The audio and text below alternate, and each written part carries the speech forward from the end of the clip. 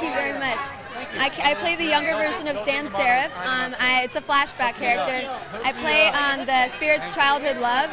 And this was before um, something happened in their lives that tore them apart forever. And then later on in his life, he comes full circle, and Sand has become a jewel thief, and he's a cop. And he has this flashback. It's like, oh my God, I used to be in love with this girl. We were the kids that didn't care about anything. We ran around Central City and did whatever we wanted, and it's fun. Yeah. There, you know, there are a couple of What I loved, I loved that it was um, a comic book for one, and also that it was green screen. It took lots of imagination, and with Frank Miller guiding the way, and you know, like it, with so little resources, we created a whole world without anything, and and sort of what I loved was her love for jewels, and I got to like engross myself in that and like make a love for jewels and like really dip myself because this is my first film, and so it was really exciting. Flying all over the people to know place. about this film? I want them to know that water that's not there.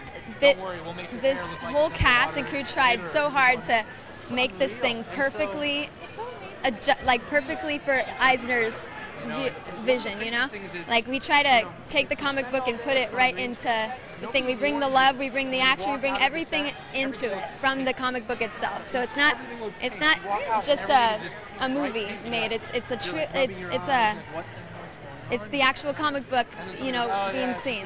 So. Yeah. Thank you so much, and I'm so happy you want to say Thank you very much. Have a nice night.